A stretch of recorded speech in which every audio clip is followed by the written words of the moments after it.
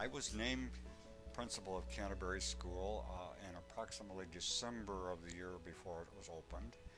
And the reason that was uh, was done was that I was to, to recruit and, and work with the staff that was going into the new building.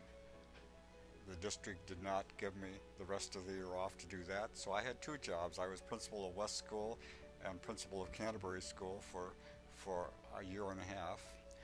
Uh, at the same time, Bob Blazer, who was a master at writing grants for money, wrote a Title III grant that proposed to invite teachers from all over McHenry County to come and spend two weeks with us at Canterbury learning about working in open spaces with team teaching and individualized instruction and that type of thing.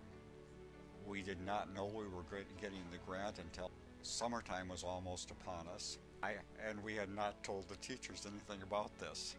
So one day, surprise, guess what? You're going to have guests For the next three years, you're going to be working with guests in your room all the time.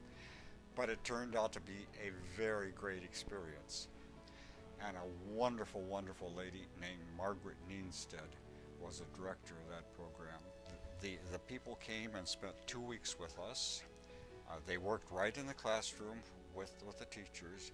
The title program also provided an aide for each, each area, and so we had a lot of people working in the, in the building. We were able, through the grant money, to have a workshop for the teachers in the summertime to prepare for this. The grant paid for substitutes.